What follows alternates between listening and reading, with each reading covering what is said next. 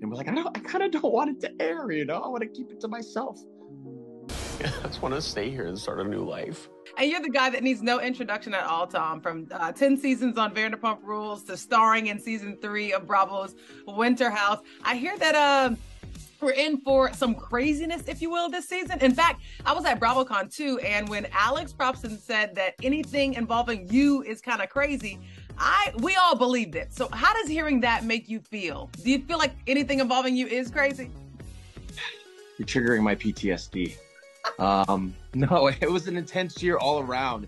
Um, with filming and outside of filming and my personal life. And um, yeah, yeah, it was a wild ride. Winter House was like a spiritual cleanse for me. I got to be honest, it was one of the most welcomed retreats of my entire life. I'm talking heaven sent, divine intervention, and I, I like I'm madly in love with that entire cast, and I'm so grateful that Kyle invited me to come, and um, the timing just could not have been better.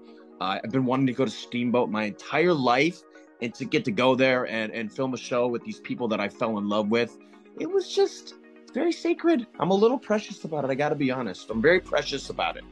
Amazing. I, I, I almost didn't want it to air. I know that's selfish because it was.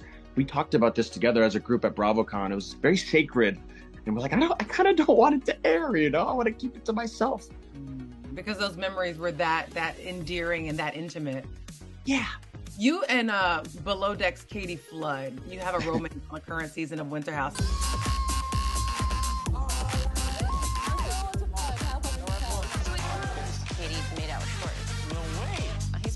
Telling you guys that I kissed him. Let's get this f***ing record straight. He kissed me. It just happened. I've had a straggler. Ah. One minute you're just sitting there laughing. Next minute, your tongues are locked, and I like it. What was it about her specifically that attracted you to her? Um, I, I, I sort of said this so many times, but she's obviously beautiful on the surface, but she has like a, she has a great sensibility. She's self-deprecating and she's really funny. Um, she's and she's got a lot of humility too. You, you know, I don't know. I don't want to stereotype people, but lots of times people very good looking. You don't always expect a lot of humility um, and self-awareness, but she has all of that, and it's like, yeah, I don't know. We just kind of like, yeah, we have kind of got a little spark going, and we had some chemistry. It's like after ten years of doing reality TV, I, I never think about the cameras. I'm not aware that we're filming, and you know, there's no filters, and I just let loose. But like with with one exception, one caveat, when it comes to like hooking up or intimacy, that's the only time I become hyper aware. Oh my god, we're filming. People are gonna see this. I don't know what it is about like making out or hooking up, intimacy in general. I, I still like that's the only time I become self aware when doing reality TV. Um, did I want to know? Did you stay in touch after filming? I mean, after you get a spark like that, I imagine the flirtation continues, or does it did it dissipate for you?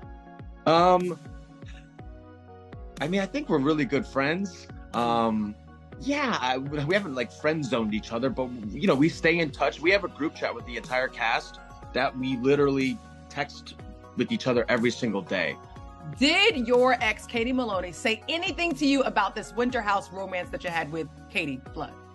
She was very supportive, and um, I don't know, somewhere in the back of my mind, I thought she was going to be annoyed or just disappointed that I, you know, on a romance on camera. Even though by that point we had been separated for a year, and a, again, a very healthy, amicable separation. Okay, there was a a few bumps along the way, if you watched last season. Um, but for the most part, you know, it's all love with me and Katie, and I'm always rooting for her. And she's crushing life right now, and uh, it makes me happy to see her just thriving. You know.